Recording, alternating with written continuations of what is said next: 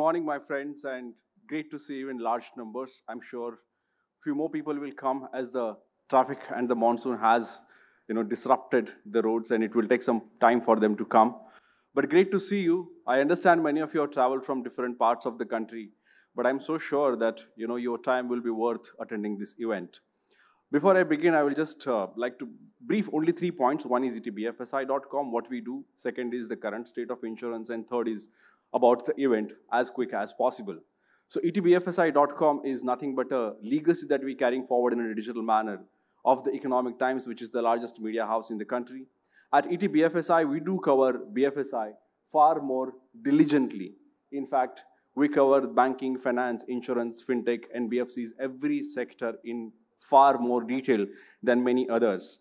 Uh, ETBFSI and the whole group of Times Group, which is Times Internet, covers all the ET and TOI platforms, I can tell you, uh, with data points that we are the largest media house in the country with 400 million users coming on the websites.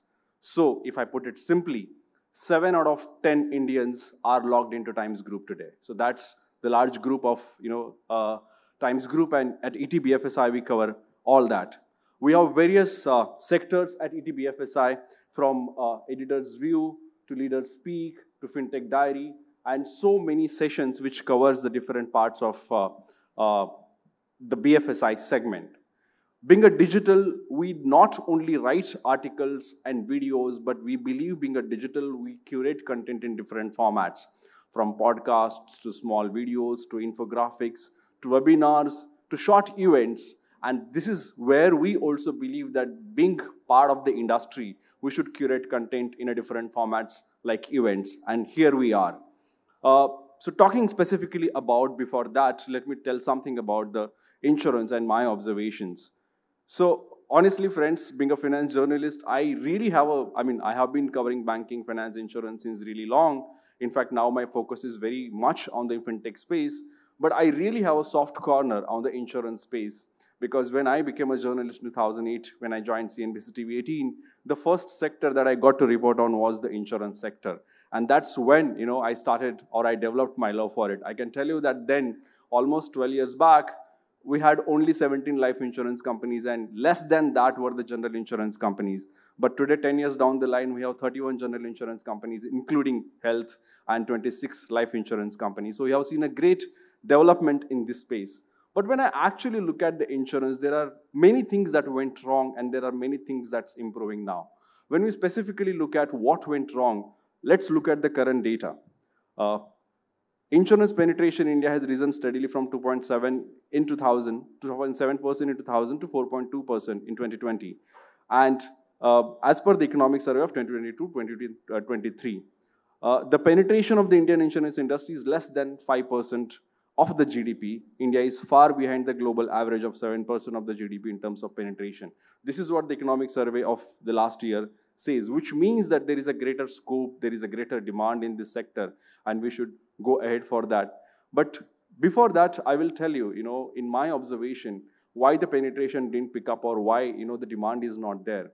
Uh, the insurance companies will simply say, or the government will also say that there is no penetration, or people are not looking at a demand, or there is no awareness, or something like that. But, but in my observation, there are a couple of things went wrong. Even if you wanted to buy insurance product, let me tell you, they were not reasonable. Most of the insurance products are still very, very expensive. Right now, with InsurTech and digital format coming into the picture, couple of people are kind of uh, are trying their best to uh, make the price reasonable. But the pricing was a major issue, distribution was a major issue, and apart from that, obviously mis-selling, uh, fraud, promises of gigantic and guaranteed returns on the insurance were also the major issues in the insurance space because of which customer preferred to stay away uh, from this. Uh, what will work henceforth in my observation is, you know, the kind of difference that the fintechs have, uh, fintechs have specifically made in the industry uh, on the lending side or the credit side is they have come up with a sachetization of the products. I think the similar thing will work specifically in the insurance segment as well because people cannot buy a simple product which is worth 15,000 rupees.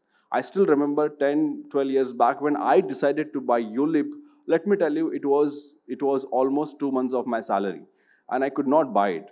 So the combination of buying a premium for the risk that you are going to take in the future, there is a big mismatch there. And I think there is a greater scope for the insurance companies, tech, and all the aggregators to resolve this space. Once that's done, I think penetration or the demand will increase to a different level.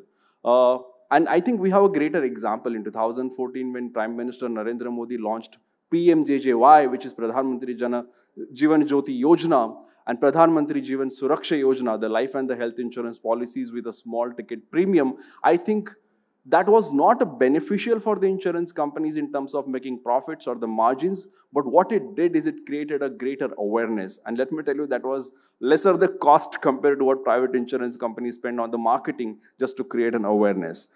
So these are the, I think, uh, major developments and the changes that I, or my observations specifically about the insurance companies. Now, when I specifically talk about, uh, about today's event, uh, uh I would like to tell you that uh, uh, we are holding this event in partnership with Zopper, which is a leading insurtech company.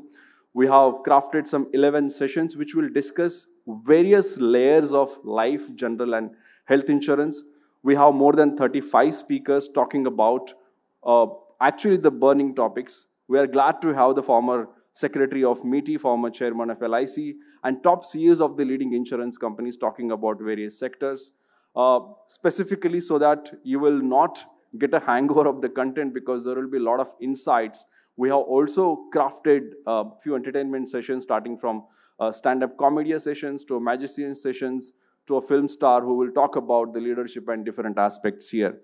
So I would like you to just enjoy the summit and subscribe to the uh, ETBFSI news portal, which is absolutely for free, which has all these IPs and the uh, properties where we discuss many other things happening in the industry. For example, FinTech Diary has covered 100 episodes. Editor's View, ETBFSI Explains is nothing but a FAQ, and many other aspects that you will find there. Uh, one more thing that I would like to tell you about, and which I always, uh, you know, speak whenever I get an opportunity to talk about insurance is, uh, when I was still a cub reporter, I managed to speak to an um, insurance CEO uh, from a leading company. And I told him, sometimes I feel I understand insurance, and sometimes I feel I don't understand insurance. He says, Oh, you're right, which means you understand insurance. And when, you, when people don't understand insurance, that's when we make our money. so, so, so that was a great learning for me.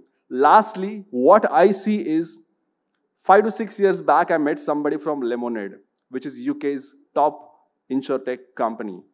And uh, I, I, maybe at Money 2020 or Singapore FinTech Festival, I don't remember, uh, at Singapore. And I looked at the website of Lemonade and I was very impressed. What they say is the clean, neat, seamless UI and UX. Obviously, they have limited products, but what they sell is we sell policies in 30 seconds, we settle claims in three minutes. In the five years of time, that company had started maybe five years back in the UK, it spread across Europe, and within five years, it got listed on NASDAQ with a greater valuation. I think there is a greater scope for insurtech companies with partnership of traditional insurance companies, but what will really work is sachetization of products, creating awareness, and letting people know the importance of products rather than just telling them that you will get guaranteed returns on the products. This is what I feel will work and we'll discuss a lot of things like this in today's event. So thank you so much for attending in large numbers. Be with us for whole day and I'm so sure you will not regret. In fact, you will enjoy the sessions and you will you would love to speak to uh, speakers and network here. So thank you so much for being part of ETBFSI Next uh, with Zopper and let's begin. Thank you.